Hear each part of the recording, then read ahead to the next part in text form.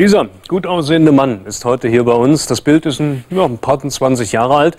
Schöner Mann, ein richtiger Frauentyp, war er schon damals mit Fanclubs und Fotoserien überall. Natürlich strahlte er auch damals immer wieder aus dem Teenie-Magazin Bravo. Die Deutsche Bücherei Leipzig ist extra für uns mal tief reingestiegen ins Archiv und hat uns die alten Zeitschriften von 1979 besorgt. Hier, das Bild auch aus einem, einer Filmreportage. Man macht mich nur ganz narrisch. Fries weniger. Du saust da nicht weniger, wenn ich was sag.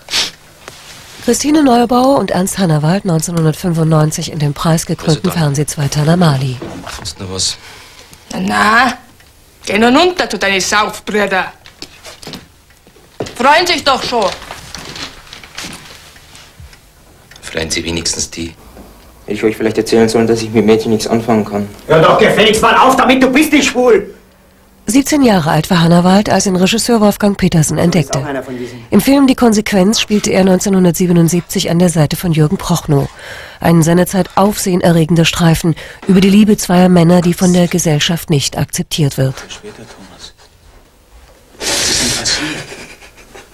Thomas, sag doch.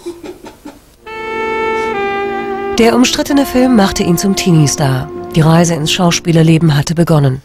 Hannawald, hier im Tatort, eilte von einer Produktion zur anderen, hatte 40 Fanclubs in Deutschland, spielte Anfang der 80er die Hauptrolle in der Serie Zeit. Kommst du her? Wirst du wohl endlich hören? los! Sie können sie doch nicht schlagen! Ich kann sehr wohl weg da. Ich bin der Vater. Lassen Sie das Kind in Ruhe. Nein! Du fasst meine Tochter nicht nochmal an, du Schwein. Aufhör!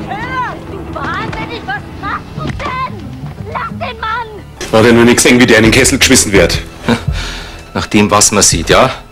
Kann man sich ja den Rest wohl denken, oder? Ja, ja, Herr Feitel. Jetzt setzen Sie sich wieder hin. Wir sind noch nicht fertig. Der Herr Feitel hat nämlich eine Kleinigkeit vergessen.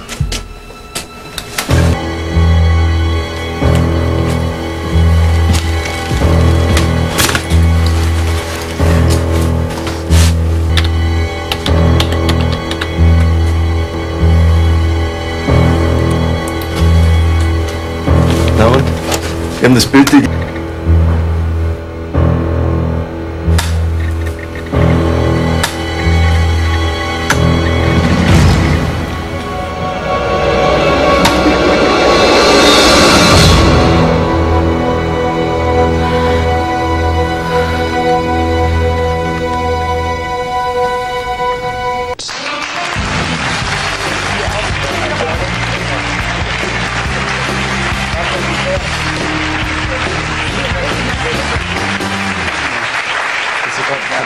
Guten Abend.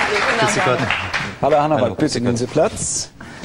Sie sind, Sie sind 42 Jahre jung und haben eine Biografie geschrieben, die heißt, das Leben ist kein Film. 42 Jahre jung.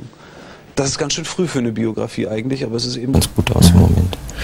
Mit 40 Jahren äh, werden Sie, glaube ich, Großvater. Sie haben eine große, äh, eine große Tochter, die wir gleich auch sehen, zusammen mit Ihrer Freundin. Man weiß gar nicht, wer wer ist. Fühlen Sie sich jetzt so eher alt und erfahren oder fühlen Sie sich als einer, der im Grunde nochmal ziemlich von vorne anfangen kann? Ich fühle mich durchaus so, dass ich nochmal von vorne anfangen kann. Gleichzeitig aber auch ganz klar der Umstände wegen fühle ich mich natürlich alt und erfahren.